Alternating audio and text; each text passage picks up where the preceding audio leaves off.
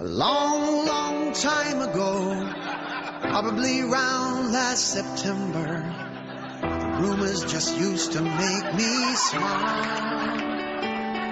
But I knew if the AFL had their chance, they'd help the Gold Coast sign up Lance, and maybe the whole venture'd be worthwhile. Every announcement made me shiver.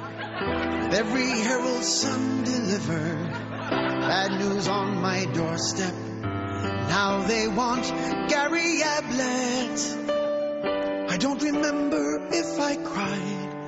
I think I was at JB Hi-Fi and Ablett won in a landslide.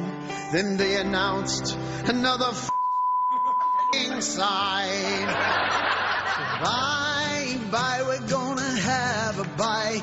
In the draft they get picks one, two, three, and five. Then Gold Coast boys will bleed the other clubs dry. Singing our salary cap is freaking sky high. Think of all the stars we can buy. They started singing,